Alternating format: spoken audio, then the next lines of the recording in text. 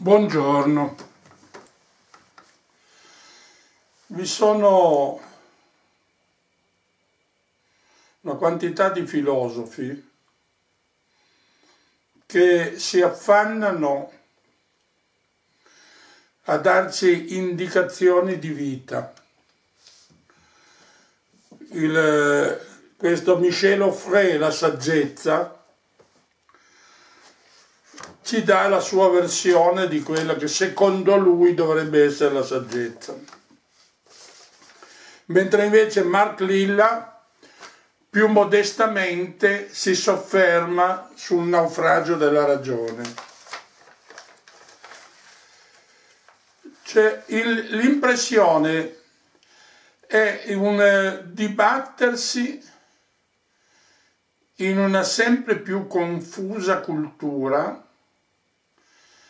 che in realtà non trova risposte a quella che è l'esistenza di ciascuno di noi. Cioè, eh, tempo fa è stato pubblicato un libro che ho cercato nella mia confusa biblioteca senza trovarlo, eh, sulla, eh, sulla ricerca della felicità. Alcuni filosofi no? cercavano di ehm, fare una sorta di silloge su, su chi eh, ha cercato attraverso la filosofia un certo livello di, di, di felicità.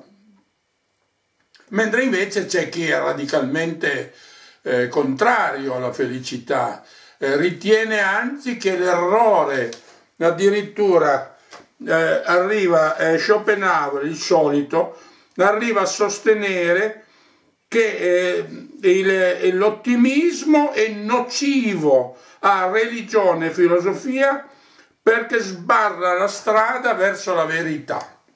Ecco, questa è l'opinione di Schopenhauer, di cui abbiamo già parlato e probabilmente parleremo ancora. Egli, esiste, egli sostiene che esiste un unico errore, addirittura, ed è quello di credere che viviamo per essere felici. Ecco. Ora, la negatività eh, e io per certi versi direi anche l'incongruenza della filosofia di Schopenhauer eh, è, è, utile a stimolare eh, risposte contrarie perché eh, in realtà eh, galleggia eh, tra luoghi comuni e catastrofisti e catastrofismi eh, escatologici. Ecco, io sono molto più eh, eh portato a considerare eh, le cose da un punto di vista effettuale, reale, empirico, perché ehm, Eh, penso, penso, che sia eh, assolutamente esiziale eh, il senso di morte che alberga eh, nella mente, nello spirito di molti intellettuali, filosofi e scrittori. Cioè la morte, come diceva Epitetto, eh, non ci riguarda perché quando arriva noi non ci siamo più. E, e questa cosiddetta preparazione alla morte, addirittura c'è chi sostiene, in parte anche la religione cattolica, che la vita non è altro che preparazione alla morte. Lo trovo una, una insensatezza. Eh, se anche avesse un senso, è un, un, qualcosa che noi dovremmo superare. Dovremmo superare perché altrimenti effettivamente toglieremmo ogni significato alla nostra vita. Rimandandola non si sa bene a cosa, per esempio secondo Schopenhauer in modo oserei dire surreale alla prosecuzione della specie, quasi che al singolo individuo interessi soffrire e fare una vita infelice perché la, la specie continui. E continui ad essere infelice evidentemente, perché se il fine è questo è chiaro che non, non cesserà mai. Il che mi sembra una gravissima incongruenza.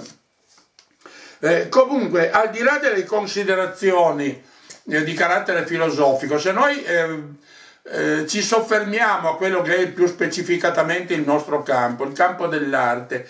Il campo dell'arte, a mio parere, eh, riflette questo spirito eh, di vuoto, cioè al di là delle considerazioni prettamente estetiche, eh, cioè, che sarebbero eh, molto, molto vaste, eh, proprio l'idea in sé, il modo come si è, eh, ci si appropingua eh, all'arte, queste forme che sono vuote, sono neutre, eh, o addirittura trasmettono un senso di infelicità, penso alle opere di Bacon, penso alle opere di Lucien Freud, eh, oppure a, a, certe forme di perversione, eh, eh, penso per esempio a, a certi artisti eh, che eh, si perdono nell'esaltare gli aspetti peggiori della natura umana.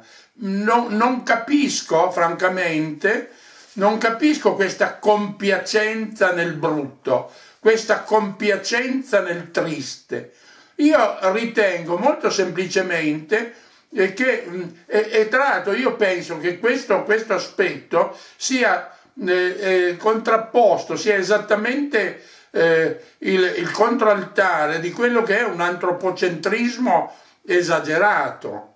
Perché se noi continuiamo sempre a pensare eh, mettiamo sempre noi stessi, no? Per esempio uno, uno, dei difetti, a mio parere, per carità, so che mi attiro le ire, del proprio femminile, del femminismo, è proprio questo, questa eh, forzatura solipsistica questo pensare a sé, devi essere felici, devi essere te stessa, eccetera, eccetera, ma sono frasi quant, quantomeno inutili, perché ammesso che abbiano un senso, eh, ciascuno di noi eh, per essere felici, per pensare a se stesso, per ottenere un qualche risultato positivo, deve prima approntare gli strumenti, deve prima essere preparato, avere la capacità di ottenere un risultato, anche sull'egoismo, perché se no eh, non, non, non, ottiene nulla, se no fallisse su tutta, su tutta la linea.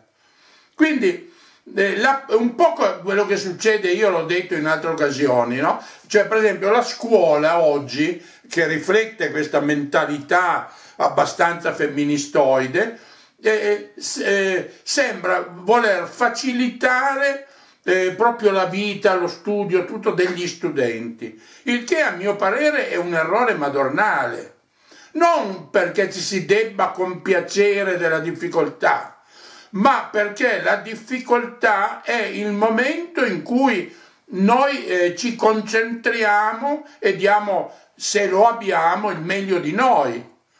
La famosa, banalissima, ma forse giusta frase, la necessità guzza l'ingegno. Ecco, quindi il, il, fatto di affrontare delle sfide, il fatto di, di, di cercare di capire il mondo che, nel quale viviamo, cercare di superare determinati stereotipi mentali, non è un qualcosa fine a se stesso, non è un esercizio astratto, inutile, è il fondamento. Quindi quando i filosofi predicano l'ottimismo o predicano il pessimismo, eh, toccano due estremi che di per sé non hanno nessun significato, perché il problema non è né l'uno né l'altro, ma la nostra capacità il nostro impegno, la nostra intelligenza, la nostra preparazione per affrontare le semplici, semplici, insomma, diciamo, le realtà che ci troviamo di fronte. Questo è il punto cruciale. Ora, se noi eh, togliamo tutti gli ostacoli, facilitiamo tutto già ai bambini, eh, eh, poi gli adulti, adolescenti, eccetera, non gli facciamo un buon servizio, perché non li prepariamo ad affrontare le difficoltà che inevitabilmente la vita porrà davanti a loro. Quindi noi dobbiamo, non c'è una forma di sadismo, il creare delle figure, tutt'altro. Sarebbe bellissimo vivessimo in un mondo in cui è tutto estremamente facile. E poi non è detto, perché anche in un mondo estremamente facile porterebbe a una sorta di rammollimento generale, come in parte già avviene, come in parte già avviene, tanto è vero che noi vediamo rampolli di, di famiglie eh, miliardarie, eh, grande potere, primati sociali che si suicidano. Potremmo fare un lungo elenco di questi soggetti, o, o, o soggetti eh, cantanti, gente così che al massimo del successo, quindi ricchezza, notorietà, eccetera, si suicida. Si suicida direttamente oppure si suicida attraverso l'alcol, attraverso le droghe, eccetera. Ecco, questo dovrebbe farci riflettere perché eh, chiaramente manca la capacità di affrontare la vita per quello che è, senza eccessi o estremismi di vario genere. Cioè in questa, quest'ottica la questione dell'ottimismo e il pessimismo non hanno praticamente significato, perché non siamo noi che creiamo le situazioni che dobbiamo affrontare, noi li troviamo e dobbiamo superarle, questo è il punto.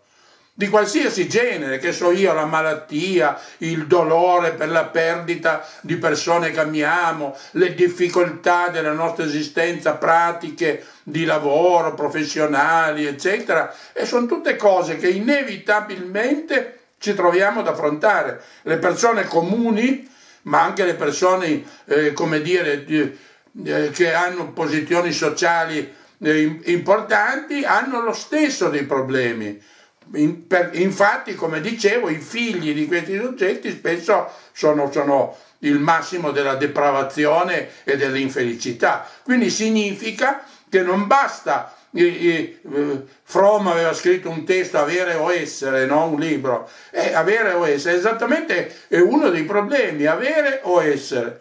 L'avere non compensa l'essere. E quindi è molto più importante l'essere che l'avere, perché l'essere ti mette in condizione di affrontare la realtà, l'avere no, l'avere ti, ti, ti, crea delle illusioni, cosa che noi secondo me viviamo, questa illusione di massa, che, di benessere, di, di, che la tecnica ci aiuti a superare tutto, la scienza, non è così e lo vediamo per esempio in questo momento, torno a citare il coronavirus ma non è l'unica calamità perché basta un po' di pioggia, basta qualche terremoto, un tusmani, una cosa qualunque della natura che si ribella e noi ci troviamo in serissime difficoltà oltre a vedere eh, centinaia e migliaia di morti. Quindi, eh, ripeto, non, non, si tratta di essere ottimisti, di essere pessimisti, di evitare di pensare perché è un esercizio faticoso e inutile, no noi dobbiamo, eh, lo strumento che noi abbiamo per affrontare la realtà è la ragione, il cervello, la nostra intelligenza, poco o tanta che sia. Questo è l'unico strumento che ci aiuta ad affrontare la vita e la realtà. E anche l'arte, prima citavo l'arte, cioè gli artisti producono queste cose tristi, squallide, insignificanti, perché sono tristi, squallide insignificanti, nella maggior parte dei casi e sanno benissimo che queste tristezze attraverso pubblicità e marketing finiscono sul mercato comunque. E quindi un, un, un abbassamento del livello culturale, artistico nel complesso della società che bada esclusivamente agli aspetti pratici, funzionali, di, di, di, di risultato. Ecco, come diceva Bertrand Russell, la cultura più utile è quella inutile e io condivido questo principio perché ti prepara un livello di conoscenza che non sia soltanto funzionale a un determinato scopo, ma ti, ti aiuti ad avere una visione eh, più chiara, più ampia della realtà che affronti. E questa realtà è sempre multiforme, cambia sotto i tuoi occhi e tu non, non, puoi fermarla, devi saperla affrontare, non puoi modificare la realtà, ma puoi approntare gli strumenti per affrontarla. E questo in buona parte dipende da te.